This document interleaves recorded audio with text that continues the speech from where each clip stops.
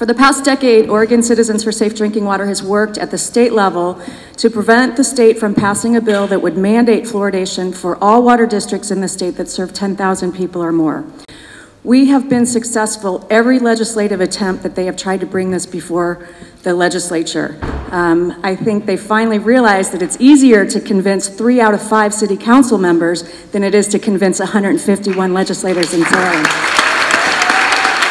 Clean Water Portland evolved out of the basic backdoor attempt to get this ram through City Hall on a fast track without input from the public and without comment and opportunity for us to be heard.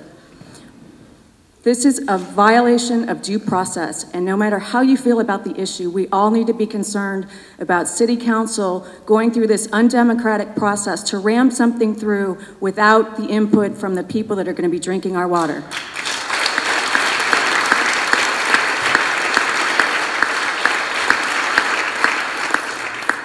We have filed an initiative to put this to the voters, and Randy Leonard has vowed that it's going to start flowing through Portland's drinking water supply by March of 2014. That's two months before the initiative will be put on the May primary ballot. What is the rush? Why don't they want us to decide? What makes them think that they know better than us what's good for us and what we want to drink and what we don't?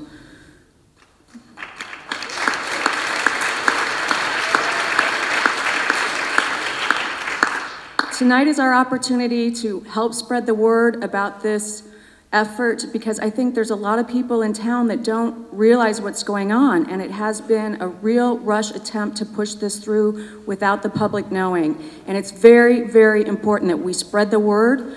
We need campaign contributions and we need volunteers because we're going to have a lot of signatures to gather, and we don't have much time to do it. And I have been overwhelmed with the amount of support we have gotten so far within just a very short amount of time.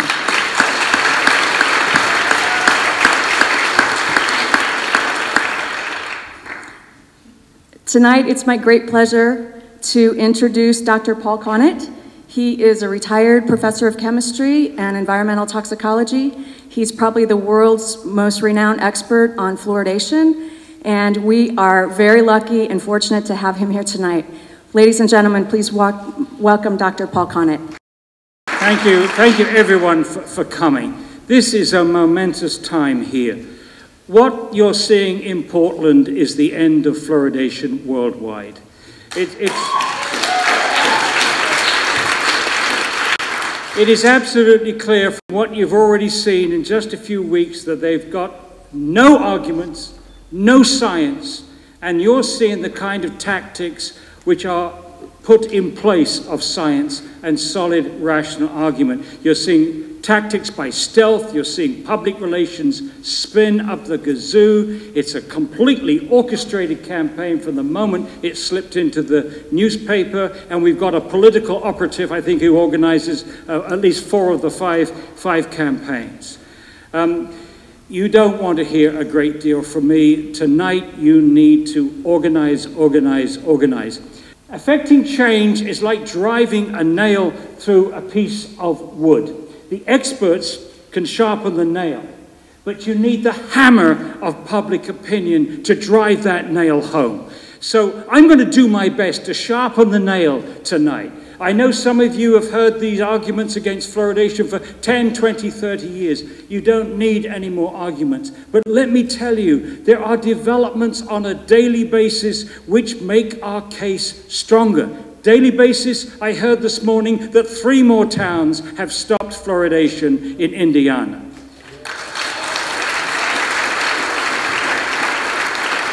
That that brings the total of towns that have stopped since October the 25th, 2010 to 56. That's over 3 million people that have stopped. And I heard this afternoon that the Premier of Queensland has called a halt to mandatory fluoridation in Queensland, something I did not expect to happen. So now, it's not my credentials that are important here. What is important for you is I tell the truth. I don't spin the science, I give the science straight to you. I'll try to do it as unemotionally as possible tonight. This is an emotional issue for me. I do not like science being torn up, especially the science that is meant to inform public health policy. Um, sometimes my sense of humor slips in and I, I, find humor in things which I shouldn't, and that's because I was at college with John Cleese and actually played soccer with him, so. anyway, let's, without further ado, let's go to the first slide. The I spent 16 years researching this issue, first as a professor, as you heard, and then secondly as the director of the Fluoride Action Network, and on that, I, I, rely very much on my wife, who's the webmaster, and my son, Michael, who is the, is the person that put this incredible website together, fluoridealert.org. In October 2010, with two other authors, next, uh, James Beck, uh, MD, PhD from Calgary, and Spedding Micklem, uh, a Doctor of Philosophy and Biology from Oxford. And I really owe a huge uh, um, gratitude to them because they really got the tone right in this book. This book is not understated, uh, overstated, it's understated. Every single argument that we use is backed up with 80 pages of references. We give as many of the caveats as possible. We try to recognize the arguments of the other side. We thought it would raise the level of debate. Unfortunately, it hasn't. After 22 months, there's been no scientific response to our book from the promoters of fluoridation, and yet they continue to maintain this mantra that it's that they are the scientists, we are the junk scientists, and it's safe and effective, safe and effective, safe and effective. I really do believe that there's some kind of commission there that every time they can get safe and effective on the airways or on public, they get a bonus. Next a summary of the key arguments. Uh, first of all, there is some very strong science on our side, and you're going to see that. But common sense should kill this practice. It should never have started. It's a poor medical practice to use the water supply to deliver any medicine, any medicine.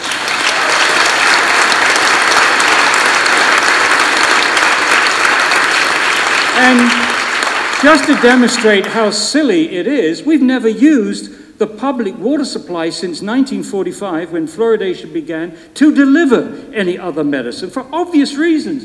Once you put it in the water, you can't control the dose because you can't control how much water people drink. You can't control who gets it. It goes to everybody babies, infants, children, elderly, people that are sick, people that are, uh, have poor kidney function, people have poor nutrition. Uh, ask a pharmacist if there's any drug at all that he is aware of that he can give to anyone and he doesn't have to control the dose. He'd laugh you in the face. Uh, next, of course, and key, it violates the individual's right to informed consent to medicine. And if you don't know what that's about, go to the American Medical Association because they have a lot about informed consent, what their uh, doctors should do. So what Randy Leonard and uh, Adams and, and uh, Fish, is it Fish, what they're going to do, essentially, to the whole of Portland, is what a doctor in Portland could not do to an individual patient. Fluoride is not a nutrient. Some promoters occasionally slip that it is a nutrient. It is not. It, to demonstrate that a substance is an essential nutrient, you have to starve an animal of it in its diet and demonstrate a disease. Uh, tooth decay is not caused by lack of fluoride, it's caused by too much sugar and not enough education. There is not one biochemical process in the body that needs fluoride, not one. I challenge them to say, tell me any molecule, any process, any reaction that needs fluoride. It isn't there. But on the other hand, we can point to many, many uh, molecules and, and processes in the body that fluoride interferes with. It interferes with enzymes. That's why the first opponents of uh, fluoridation in this country was not the John Birch Society or the Ku Klux Klan or any of these other crazy right-wing groups. It was Nobel Prize winners in enzyme chemistry, like James Sumner at Cornell. and it interferes with enzymes, it interferes with hydrogen bonds, it forms complexes with metal ions, it interferes with the active centers of many enzymes and proteins, it carries toxic metals to places they wouldn't otherwise go. You can go on and on and on, and I don't intend to. It's not substance, something that you want anywhere near your body, and certainly not your baby's body.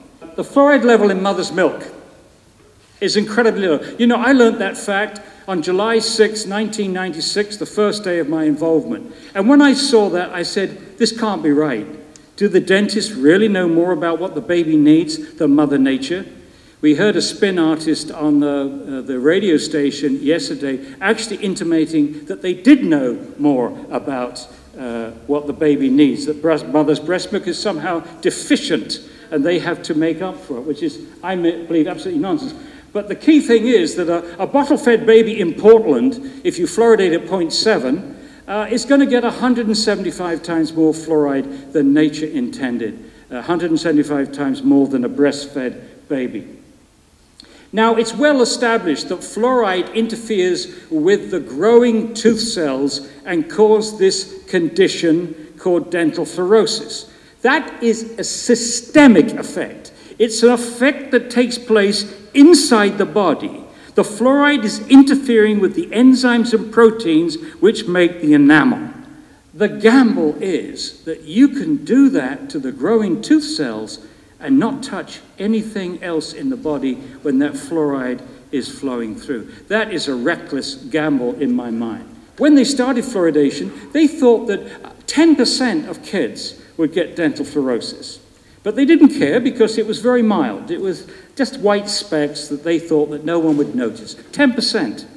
Now the Center of Disease Control admits that 41% of American children 12 to 15, this is the average of all children, whether they live in a fluoridated or non-fluoridated community, because we're getting fluoride from many other sources, have dental fluorosis. So they're four times more than their goal. And this dental fluorosis that we're getting today is not just very mild. 8.6% of these figures are mild and 3.6% are moderate or severe. Mild dental fluorosis impacts 50% of the surface of the tooth, and moderate or severe affects 100% of the tooth. And tell a child who has moderate or severe dental fluorosis that this is not a problem, it's just a cosmetic effect. Because these children do not want to smile, they do not want to open their mouths on their first date. It's a, a source of intense embarrassment and psychological damage.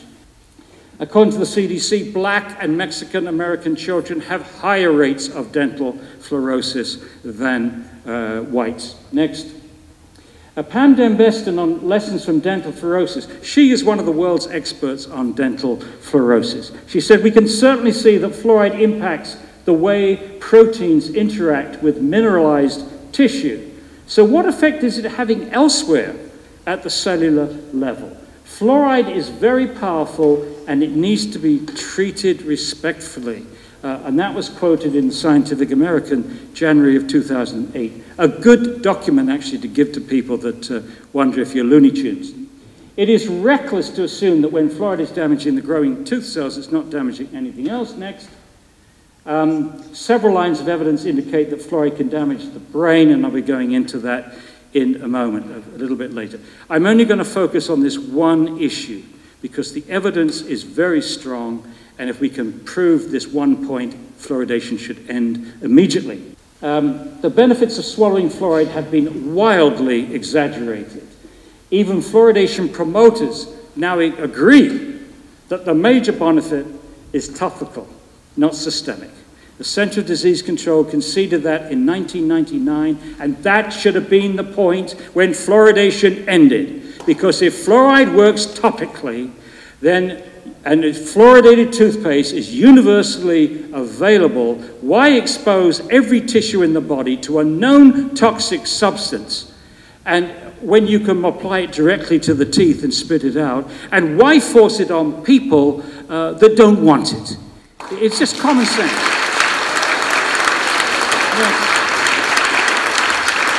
And this, this simple fact about it working topically, not systemically, they got this wrong for 50 years. They got it wrong for 50 years.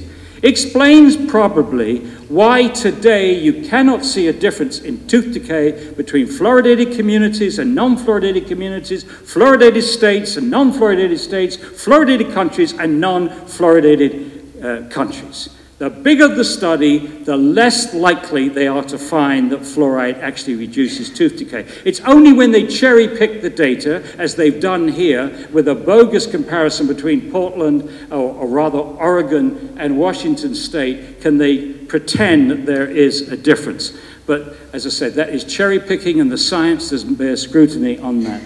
The chemicals used to fluoridate are not pharmaceutical grade. They're not the kind of fluoride that you get in toothpaste.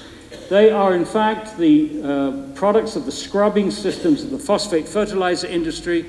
A spray of water captures two very toxic gases. And these chemicals, these fluoridated chemicals, contain a lot of other contaminants. One of them is arsenic. Now, arsenic is a known human carcinogen. And for the US EPA, there is no safe level of a human carcinogen. Any amount can increase your cancer risk. So, inevitably, when you're using industrial grade fluoridating chemicals to fluoridate your water, you are going to increase the cancer rates of your community, of your country. There's no argument about that. The only argument would be to two people in risk assessment to calculate just what the increased cancer risk would be. But there, you will increase the cancer risk, period. And that's over and beyond the fact that fluoride might also be a carcinogen. The science underpinning promoters' claims of safety and effectiveness is extremely poor. It was a shock to us when we had the three authors sat down and looked at the literature in some detail. The four examples of bad science. One, there's not been a single randomized clinical trial to establish that fluoride or fluoridation is either effective or safe. This is the standard procedure that the FDA uses to approve new drugs. This is the most prescribed drug in American history. Today, it's going to over 200 million people every day in uncontrolled doses through their uh, water and through food that's made up with it, etc. The FDA has never approved it for ingestion. It remains an unapproved drug. Another uh, flabbergasting fact in a, in a whole host of flabbergasting facts. In 67 years since fluoridation began, there's been little to no monitoring of our exposure. There's no been monitoring, no systematic monitoring of the fluoride levels in our bones, even though we know that 50% of the fluoride we take in each day accumulates in our bones. No measure in the urine, and urine is a good measure of daily exposure or in our blood, so critical for when you get into the biochemistry. None of that is being, being monitored, which is incredible. Even when harm has been demonstrated in, in other countries, countries which do not have a fluoridation program to protect, uh, countries like India and China, which have high natural levels, there has been no attempt to replicate these studies in the United States or any other fluoridating country. It's absolutely amazing. They put all their effort into critiquing the methodologies of, of studies that have found harm, but none into actually doing the studies themselves. Even though it's well established that the severity of dental fluorosis is a good indicator of how much fluoride the child has been exposed to before their permanent teeth have been uh, uh, erupted. So you've got this wonderful non-invasive biomarker which should make any epidemiology, epidemiologist have an instant orgasm. I mean, after all, you, you have millions of children with no dental fluorosis, very mild dental fluorosis, mild dental fluorosis, moderate dental fluorosis, and probably not millions, but thousands with severe dental fluorosis. So you've got the x-axis beautifully. So now the y-axis, you could look at any um, health concern with children that you can think up and see if there's any relationship the, between the severity of dental fluorosis. Not once has this been done in America. Next. Instead of science, promoters use endorsements. Here's a list of endorsements from the ADA. The ADA says all these organizations endorse fluoridation. But how many of these organizations have researched the issue themselves? How many have done that recently? How many, for example, have looked at the IQ studies that uh, is very important right now? Endorsements are a good way to sell shoes, but not a good way to determine public health policy. You know. Next. Next. Many Americans might find these endorsements impressive, but clearly they didn't impress the vast majority of countries in the world, because the vast majority of countries in the world do not fluoridate their water, which includes most of Europe.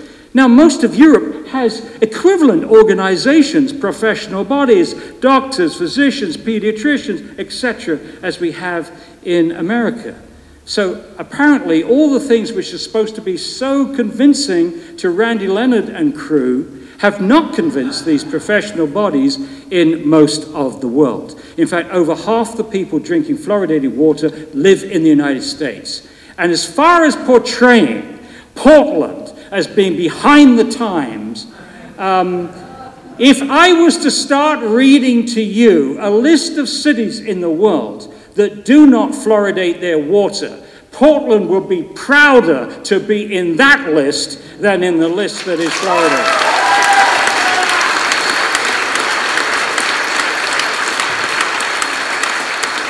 In, in Europe, 97% uh, of the population of Western Europe is not drinking fluoridated water. These countries are not fluoridated. Some of them started but stopped. Uh, four of them have fluoridated salt. Uh, but the majority have neither fluoridated water nor fluoridated salt. Rick, Hind, uh, Rick North told me today that um, maybe Spain also has fluoridated salt. So maybe it's five. The most frequently cited endorsement is from the uh, CDC. Um, and the statement goes as follows, and you must have seen it many, many times. Every time I see it, I want to throw up. Fluoridation is one of the 10 great public health achievements of the 20th century. I, I want to say this. Those who so glibly trot this out, editors of your papers, journalists, public health officials, Randy Leonard and crew, are going to be so embarrassed when they really see what this statement is and where it came from. It came from not the Center of Disease Control the total body of 18,000 people. It came from 30 people, the Oral Health Division. Let me be more specific. This, the report on which that statement is based, was published in 1999. It was not externally peer reviewed. It was an internal House document. It was written by two people Scott Tomar, who's a dentist who had never written anything on fluoridation before this, and Susan Griffin, an economist. The report, well, no, uh, let's, uh, okay. They may have done really diligent study, and so we shouldn't hold their lack of credentials on this against them. But we can hold the content against them because if you look at it, they dismiss health effects in one sentence and rely on a review that was already six years out of date when they published this report.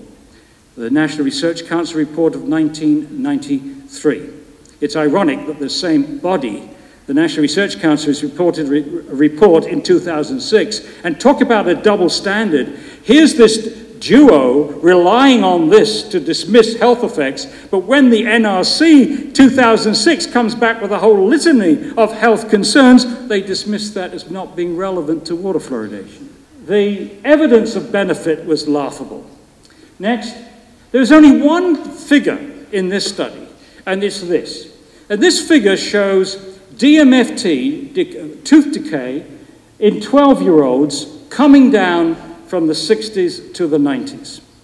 And on the same graph, you see a red line. That red line is going up. Is it the sale of bicycles, telephone books?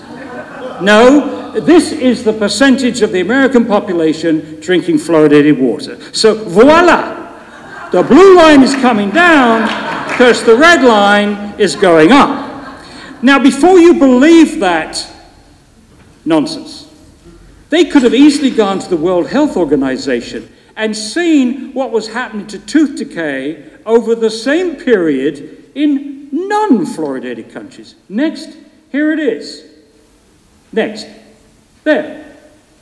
There are 12 countries here which are non-fluoridated, one that has 10% fluoridation, and four that are fluoridated. They're all coming down. Tooth decay was coming down in all those countries from the 60s and the 90s. So to ascribe the reduction in the United States to water fluoridation is either incompetence because they couldn't be bothered to see what the worldwide figures were, or it was fraud. It was deception.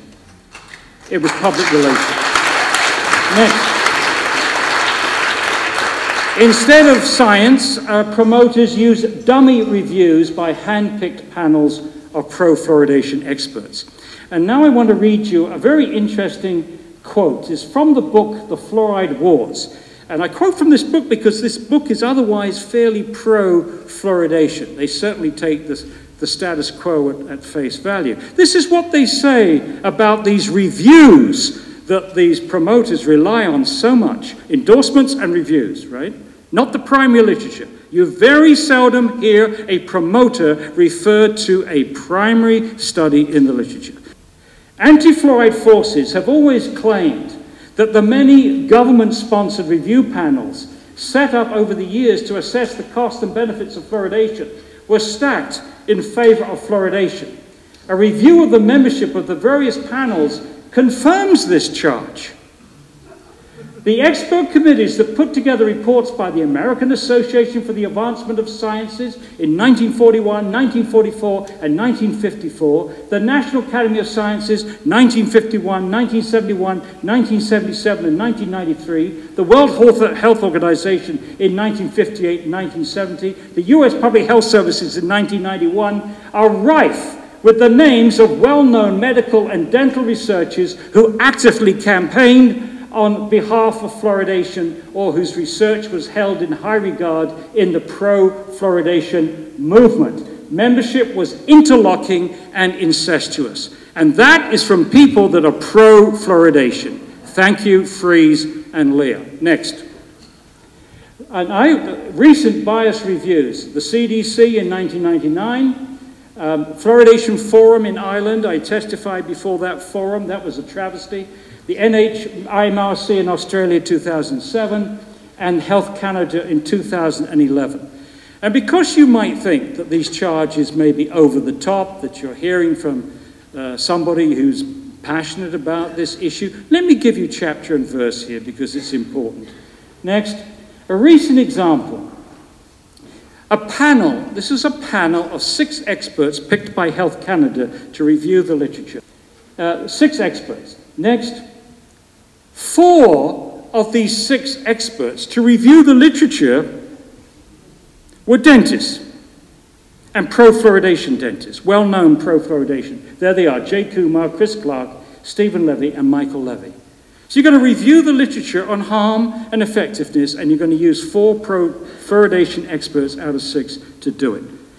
The six experts, after reviewing the literature on fluoride and IQ, declared that the weight of evidence indicated that there was no problem.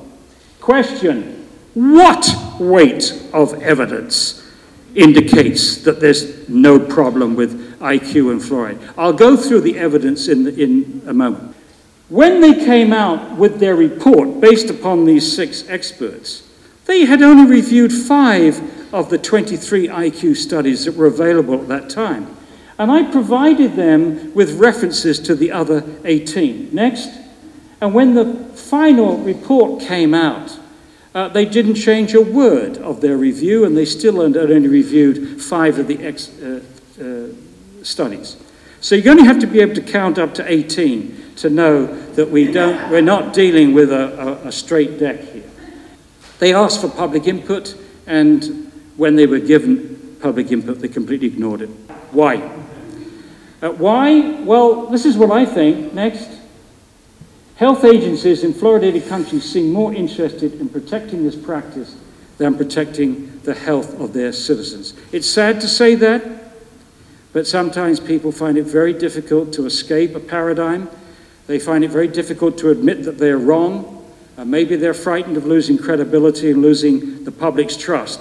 But I assure them the longer they keep this going, the more of the public's trust they're going to lose. Let's look at the real science.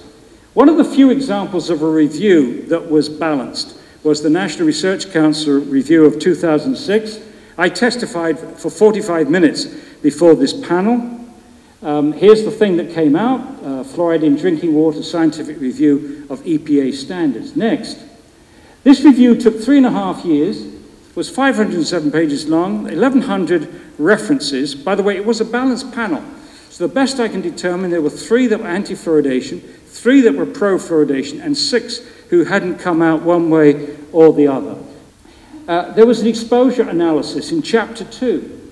And in this exposure analysis, they concluded that there were subsets of the population drinking fluoridated water, optimally the one part per million, that were exceeding the EPA's reference dose. Now, I underline that because both the ADA and CDC said that this was not relevant to water fluoridation. Look at it. They're saying there are subsets of the population that are exceeding the safe reference dose drinking fluoridated water. Now, these people obviously can't read the ADA and the CDC, Tweedledum and Tweedledee. These subsets included high water drinkers and bottle fed babies.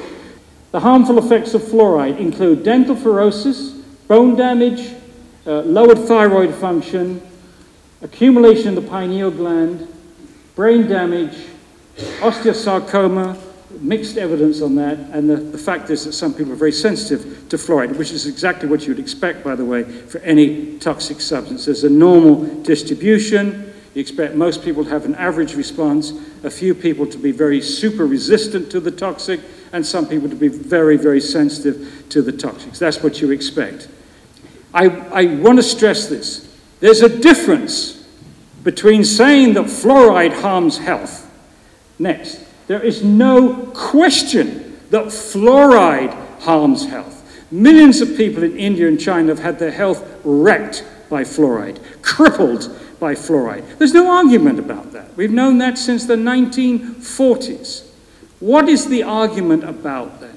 Next, the argument about is whether fluoridation causes harmful effects. And what that comes down to is the scientific question is there an adequate margin of safety between the doses that cause harm, which have been documented in hundreds of studies, and the doses that we are likely to get in a fluoridated community, bearing in mind you can't control the dose, and also is that next is that margin of safety sufficient to protect everyone? Not just the range of doses that people get, but the range of sensitivity. And we have a standard factor in toxicological risk assessment to protect the whole population once you've found harm. Once you've found harm, you take the dose that causes harm and divide by 10. And then you're confident that you've got a level which is safe for everybody in your population.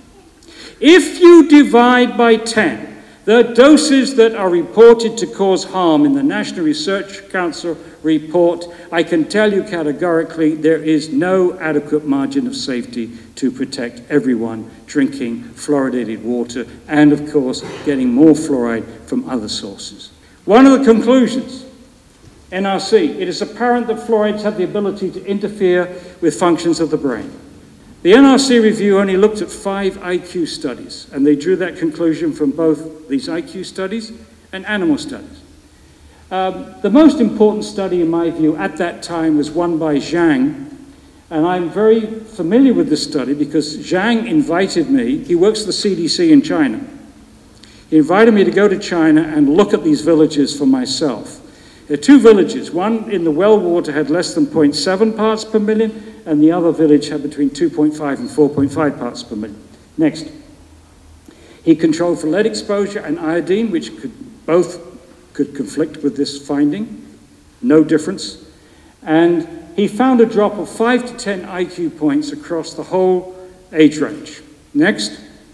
And the drop in IQ correlated with fluoride levels in the urine. Now, this recent meta analysis didn't go into factors like this. Their study is, is the crudest of the studies that you can think of. It's comparing one community with one fluoride level with another community at another fluoride level. And the reason that those are the crudest of epidemiological studies is you don't have a measure of individual exposure. But Xiang has a measure of individual exposure. He had the measure of fluoride in the urine. And that correlates with the lowered IQ and greatly strengthens his study. Next. The whole IQ curve was shifted for both males and females. Here's the, here's the, uh, the males.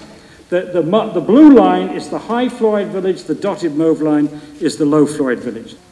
Now, Xiang estimated that the threshold for lowering IQ was at 1.9 parts per million. He took all his data, extrapolated. Now, next, think about it.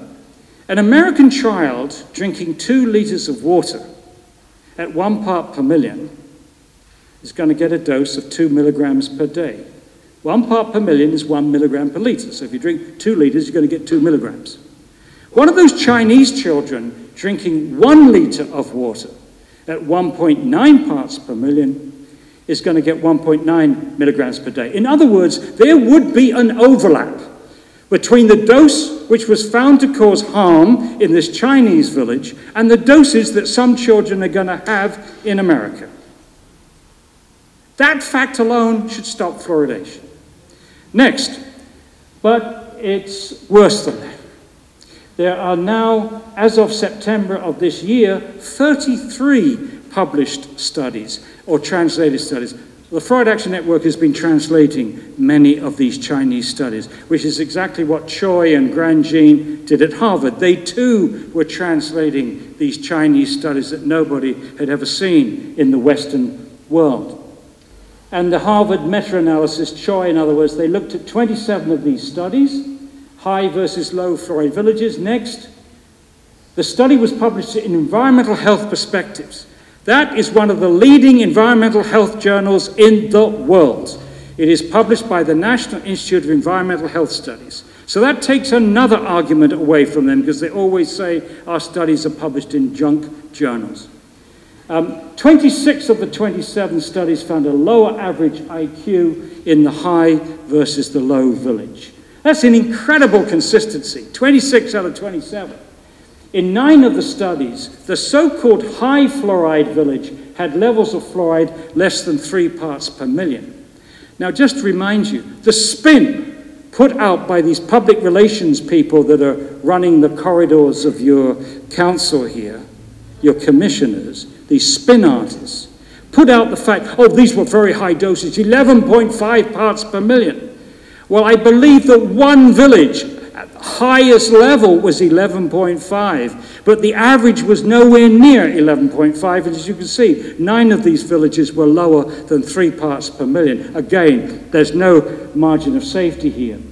In 19 of the 27 studies, the difference in IQ was statistically significant. Next. And overall, the whole study found a lowering of 0.45 of standard deviation, which translates to seven IQ points. Now, again, the spin artists were putting around that this was just a drop of half an IQ point, when in actual fact it was 14 times higher. The average was seven IQ points drop. Next, and it was significant. The Harvard scientists concluded that further investigation of fluoride's lowering of IQ should be a high research priority. That's what the NRC concluded in 2006. So how many studies then were done on IQ in America since 2006? None. How many were done in Australia, New Zealand, England, Ireland, Israel, all these other fluoridated countries? Answer, zero. So how many do you think are going to be carried out in the next six years? You bet. Uh, this is what Philip Grandjean, who's very well known, by the way, for his work in environmental health. He was the one that did the mercury study in the Faroes Islands and, and, and provided the, the ammunition that pregnant women should not get mercury. Another travesty that the American Dental Association is responsible for mercury fillings, which they call silver fillings. Um, he says, Fluoride seems to fit in with lead, mercury, and other poisons that cause chemical brain drain. The effect of each toxicant may seem small, but the combined damage on a population scale can be serious, especially because the brain power of the next generation is crucial to all of us. That was in the press release that accompanied this report. Now, I want to just spend a few moments to explain why this lowering of IQ, this shift across a whole population, could be very serious. Now, here's the normal distribution of IQ in a population now, the bell shaped curve. So, the average, most of us would have an average IQ of about 100. And some of us uh, would have an IQ above 130, above 140. We would be very, very bright in the genius class. And that's that green area under the curve. And over on this side, sadly, there would be a number of people, the area in the mauve area, which would be, who would be less than 75 and they would be mentally handicapped. Now let's shift the curve over by five IQ points. Five IQ points, which is what we think we did with lead in gasoline.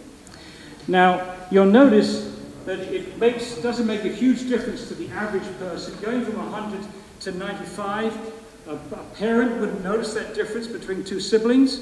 A teacher wouldn't notice the difference between two pupils, between 100 and 95. But, next, look what it does to the two tails. If you shift over by a small amount, you dramatically de decrease the number of geniuses in your society and you dramatically increase the number of mentally handicapped. That has huge social and economic ramifications for our population. So even if you don't give a damn about the health of your, your children, at least think about the economics, which seems to be the most important thing in this culture.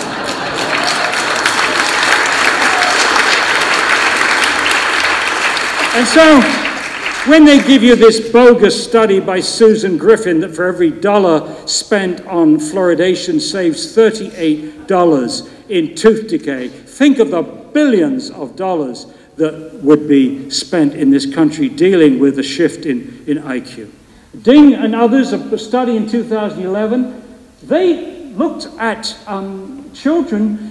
The average level of fluoride was 1.3 parts per million. The range was 0.3 uh, to 2.84. Uh, next, their conclusions. Overall, our study suggested that low levels of fluoride exposure in drinking water had negative effects on children's intelligence. These are low levels now. Now, they didn't, in this case, look at a high village and a low village. What they did is they, they this area, that was the range of fluoride in, in the water. They didn't measure the level in the, in the water. What they did was to measure the level of fluoride in the child's urine, which told them the exposure, right? And then they plotted, here's the plot. They measured the, the um, for the different, they divided the children up into different levels of fluoride in their urine and saw how the IQ, the average IQ in the group, compared with the average IQ, the, the, de the, the, deviation from the mean value. And you see that it slopes down. The higher the fluoride in the urine, meaning the higher the exposure, the lower the IQ in these children. Next. Um, 11 of the studies in the Choi review looked at urine levels and the level averaged less than three parts per million in five of the studies. Why is that important? Because in England, they've measured urine levels of fluoride. Not many people do. They don't measure it in the United States. But they found that 5.6% uh, of the kids had levels above three parts per million, and 1% uh, had levels over the four parts per million. In other words, our kids, in, at least in Britain, are being exposed to levels of fluoride which is lowering IQ, associated with lowered IQ in China. Uh, Xiang also measured the fluoride in the serum. Next. And this is the serum levels. You've only got a, a few very low levels of fluoride here, and I'm not sure the significance of that line going slightly up. But in the high fluoride village, you'll notice that the higher the level of fluoride in the blood, the lower the IQ in the, the village. I asked uh, Xiang if he would put all the data together in one graph. I don't have the plot to show you, but when you put all the data together, you just get a slope going uh, downwards. So consider the weight of evidence. This is what you need. If you're going door to door, you need these facts if you can remember them. Over 100 animal studies show fluoride damages animal brain. One. Over 10 animal studies show that fluoride changes animal behavior. Now, the beauty of animal studies, if you accept the legitimacy of doing experiments on animals, which I have problems with, but if you accept, um, if you accept, you can control all those things. So when they are saying there may be confounding variables that explain all those 26, 27 studies from India, China, Iran, and Mexico, that's because we, it's very difficult to control for all the factors in human experience. But when you've got these little animals in a cage, you control everything except the thing you're dosing them with, which in this case is fluoride. So when you see changes in behavior with the animals that are dosed by fluoride, it wasn't caused by coal burning, arsenic from somewhere else, or any other factor. Four studies show that fluoride damages fetal brain. In China, uh, you're only allowed one child per family. There are lots of abortions. And of course, there's lots of abortions in endemic fluorosis areas and non endemic areas. And they compared the brains from these aborted fetuses and they found measurable changes in the brains of the babies born in the, in, the aborted fetuses in the endemic areas. And 33 studies shows an association between modest exposure to fluoride and lowered IQ. And lastly, there are seven more human studies which don't measure IQ specifically, but things like memory, behavior, patterns, and so on, and they too have these effects are associated with fluoride. Now that's quite a weight of evidence. So what have we got in the other scale pan? Well, we know of one animal study done in America by Whitford that didn't find an effect. We know of one small IQ study done in New Zealand that didn't find an effect. We know of one small behavior study done in Boston uh, with a small number of of, of children. And I just want to correct something. That is one, the one study in America that did look at uh, an effect as a, as a function of dental fluorosis, severity of dental fluorosis. Morgan and others, 1998. Okay. So there is the two scale pans.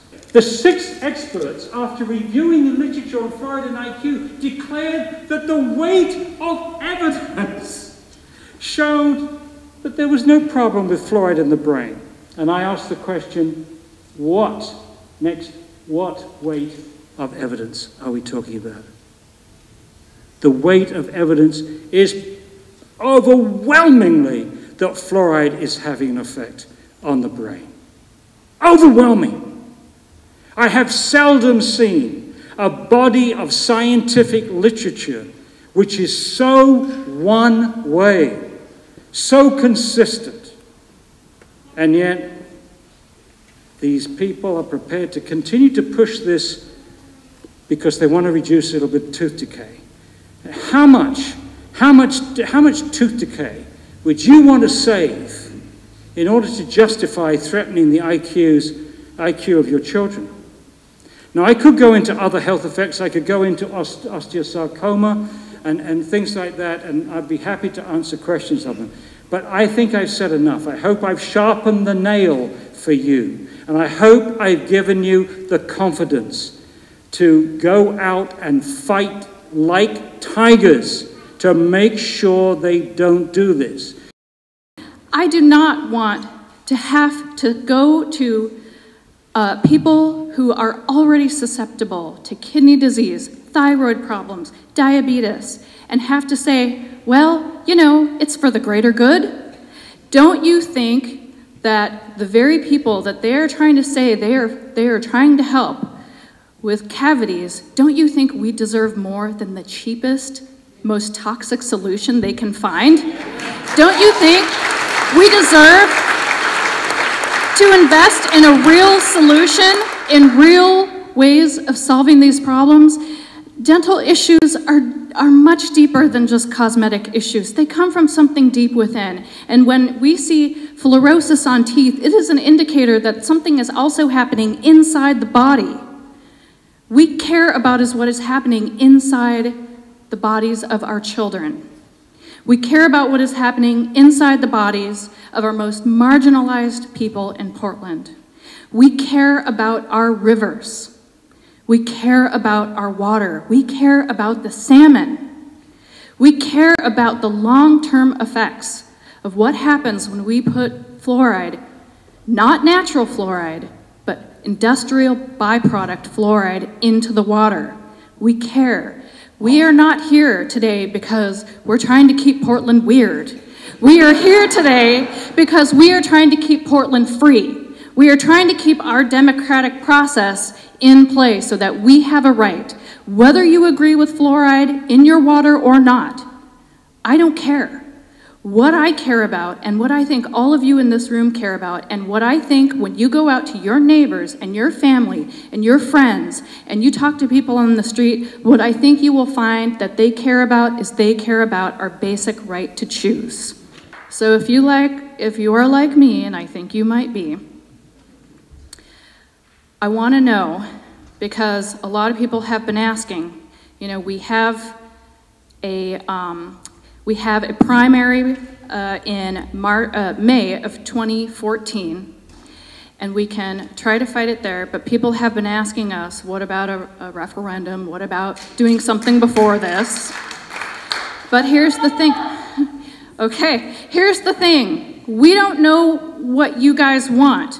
We have at this point, we haven't had a chance to get an idea of how far you guys are willing to fight because if we decide to go that route, it's going to be quick and it's going to be long and it's going to be hard. And we've got to do a lot in a little amount of time. So if that's what you're interested in, you've got to let us know. You've got to put your voice out there because we want to uphold, unlike our city council, we want to uphold what the people want. We want to fight for you. And we want all of us to do this together, as is what you do in a democratic process, right? So if you are interested in that, please let us know. Give us a sign. And I would also encourage you, no matter where you stand on this and where you want to go, if you care about democracy, regardless of fluoride, if you care about democracy, talk to people, get to know people, and if people want to fight you, if they say they don't agree, that's fine. Move on to the next person because you will find that they, we have far more allies in the end who want freedom and democracy for all Portland citizens and, quite frankly, Tigard, Gresham, and Tualatin as well. Yeah, we're also fighting for them as well because they didn't get a say in this either. So if you want to fight, we're ready to back you. So just let us know and let's do this together because I believe in the end we are going to win.